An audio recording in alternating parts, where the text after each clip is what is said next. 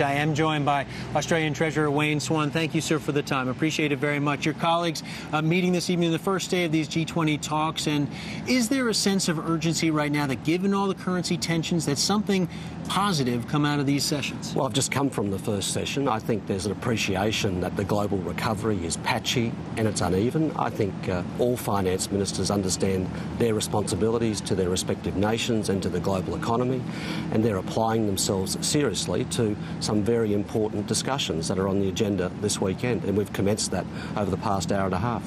Well, we've had uh, the Treasury Secretary of the United States, Tim Geithner, sort of put the U.S. position forward in a letter to, to you and the fellow G20 colleagues, talking about perhaps targeting current account balances as one means to try and address uh, some of these global issues. What do you make of the Secretary's proposal? Well, Tim Geithner, I think, has made uh, three very constructive suggestions in his letter. I'm sure finance ministers want to talk about those in detail. I think they are constructive. I think we always have to be aware, however, that not one size always fits all.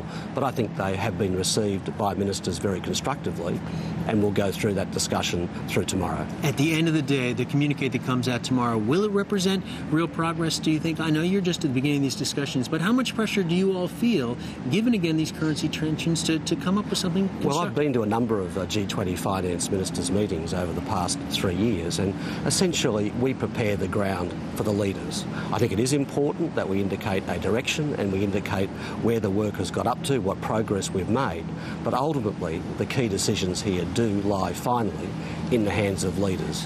What about the, the question about a currency war right now? Australia, obviously, you all are dealing with the, a very strong dollar, the implications of that for your economy. The questions about China, the undervalued uh, yuan, where does that stand right now? At the end of the day, you all going to deal with that? Well, Australia is committed to a floating exchange rate, and our dollar is strong, and that reflects how strong our economy is relative to other developed economies, and it also reflects uh, the very high commodity prices that we're seeing globally, and also it reflects the dynamics within international commodity markets.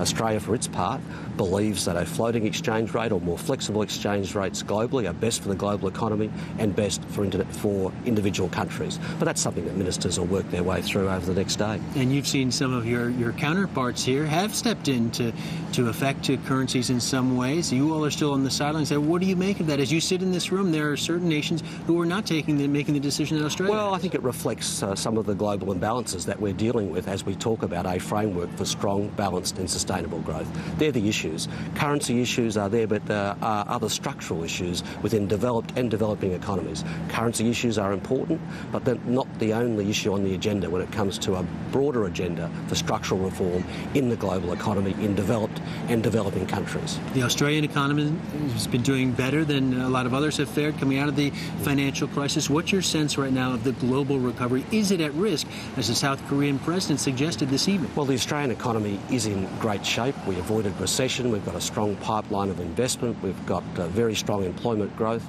and we're on track for surplus in 2013. But of course, outside the Asia Pacific, I think it is very uneven and it's very patchy. And we have to be aware of that because no region can be immune uh, from the outcome in other regions in the global economy. Let me ask you one question, if I could, a specific Australian question that a lot of folks around the world have been following carefully the national mining uh, tax situation, the disagreements there. Where does that stand right now with regard to industry, given some of the questions uh, that have arisen in recent days? Well, this is a very important tax reform for Australia. We're working our way through some of the issues. Uh, we are working through a committee which is headed by Mr. Argus, who is a very prominent former miner in Australia. We believe we will resolve all of those issues, and what we will do with the revenue uh, from the mining tax is invest in national saving, invest in infrastructure, and bring down company taxes. And that's what we want to do. All right. We will wait and see. Treasurer Swan, thank you very much for the time. Appreciate you joining us here on Bloomberg.